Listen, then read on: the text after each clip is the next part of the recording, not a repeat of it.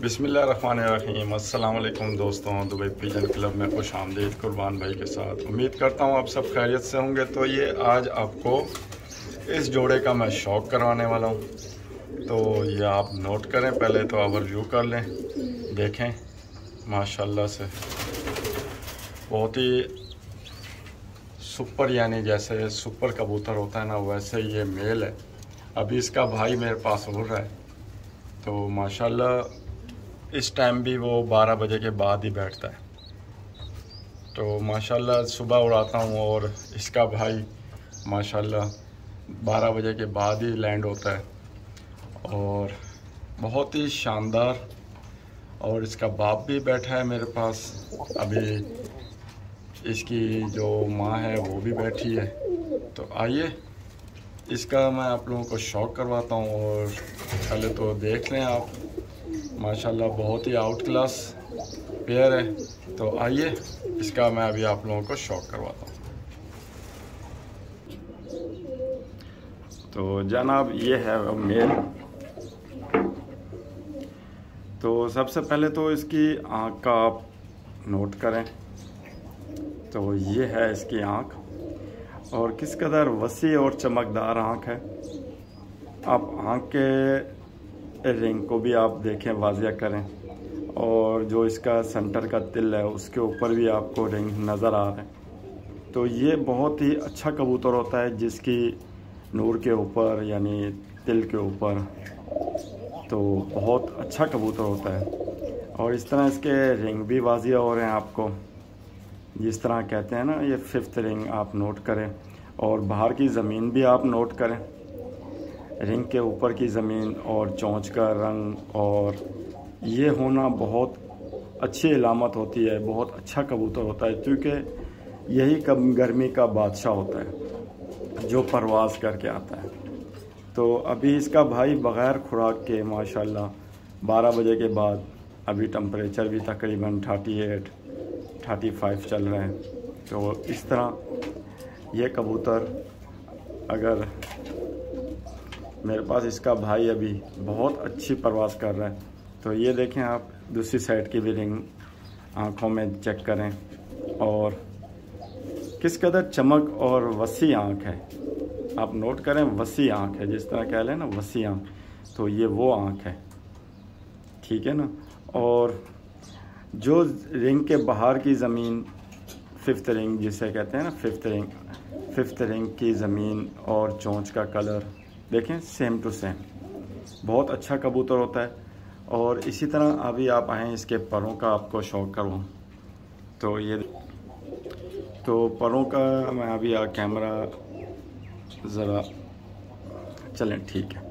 तो ये देखें आप, परों की बनावट को आप नोट करें, किस कदर लाइन यहाँ से बगल से स्टार्ट हो रही है। तो ये सीधी ऊपर की साइड जा रही है, ये देखें आप यहाँ से। और बिल्कुल स्ट्रेट। यहाँ से स्टार्ट करके आपको नोट करवा दूँ ये देखें आप। तो ये मैंने पल्ला खोला इसका। तो आप नोट करें। बिल्कुल स्ट्रेट। और ये आप नोट करें इसकी। कली नामी ऊपर की तरफ़ निकलती हुई है। और दसवीं उससे छोटी और आठवीं और नामी बराबर।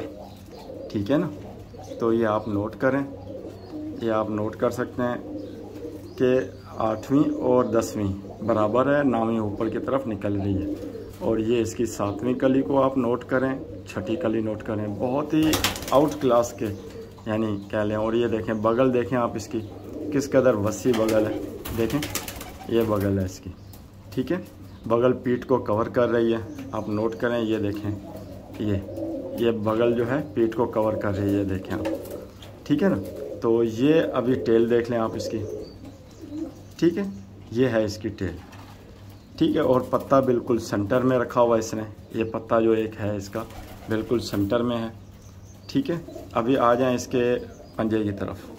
तो ये देखें आप इसके पंजे। ठीक है तो ये इसके पंजे। अब नोट करें इसके पंजे। किस कदर सुर्ख और पतले, बिल्कुल लंबी टांगें। आप नोट करें। और ये मेरे पास इसके कड़ी जो डली हुई है, वो 67 नंबर है। तो ये सिक्सटी सेवन नंबर है। इसका बाप भी इसकी तरह है ये बिल्कुल। तो आप नोट करें, या आप नोट कर सकते हैं। सिक्सटी सेवन नंबर ठीक है? सेवन का आधा मिट गया। तो ये है सिक्सटी सेवन तो बहुत ही आउट क्लास कबूतर है ये। ठीक है, अभी इसका मेल का मैं ये मेल का आपको शौक करवाया, अभी फीमेल का शौक करवाता हूँ, ठीक है? बने रहे मेरे साथ में। तो जनाब, इस टाइम मेरे हाथ में फीमेल है तो ये फीमेल का आप भी नोट करें आँख को। तो जिस तरह मेल की थी, वैसे ही है, लेकिन इसका फिफ्थ रिंग ज़रा हल्का सा है। बहुत ही पतला सा है, लेकिन आप फिफ्थ रिंग के बाहर की ज़मीन को और चौंच की कलर को आप देखें तो मैचिंग कलर है। ठीक है ना? और ये थोड़े कांटोदार है, जैसे इसके सिर पे आप सफ़ेद सफ़ेद सा देख रहे हैं। और बिल्कुल दरमियान साइज़ की कबूतरी है ये। और बिल्कुल ही आउट क्लास की ये मादा है फीमेल है। और आँख के इसके भी आप नोट करें तो किस कदर ये भी चमकदार आँख है, चमकीली आँख। और इसका जो तिल के ऊपर का रिंग है, वो ज़रा वाइट कलर में मतलब है, वाइट कलर की ज़मीन है। और उसके बाद फिफ्थ रैंक की जो बाहर की ज़मीन है, वो चोंच के साथ मिलती जुलती है। तो ठीक है तो इसी तरह दूसरी साइड की भी आँख आपको शौक करवा दूँ। तो ये देखें आप दूसरी साइड की आँख।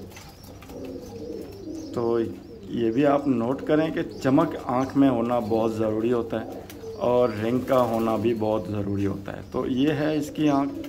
तो ठीक है, अभी आ जाएँ परों की तरफ़। तो परों में आप और एक बात बताऊँ, जब मैं जोड़ा लगाता हूँ ना तो जोड़ा लगाने में मैं जो है ना, नर और फीमेल को दरमियान साइज़ की ये मादी रखी है, यानी छोटे साइज़ की कबूतरी है ये, और नर थोड़े लंबे साइज़ का था।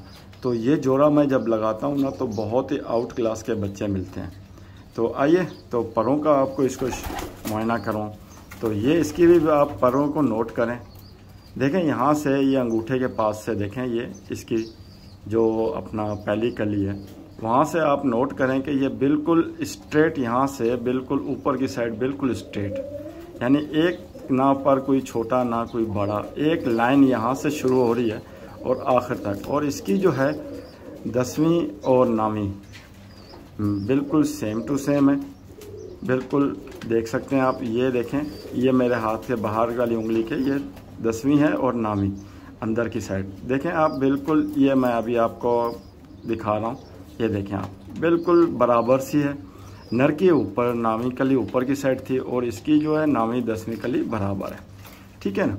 तो ये भी थोड़ा मैं डिफरेंट करता हूँ। और ये इसकी टेल है, ठीक है?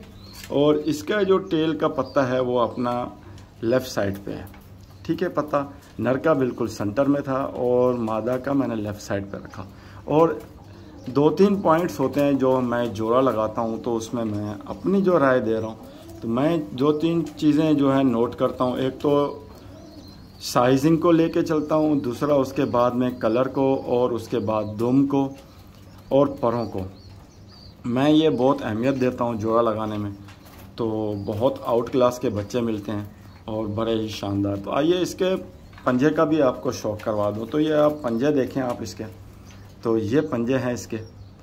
देखें, बिल्कुल लाल रंग के, सुर्ख लाल और जो है लंबी टांगें हैं।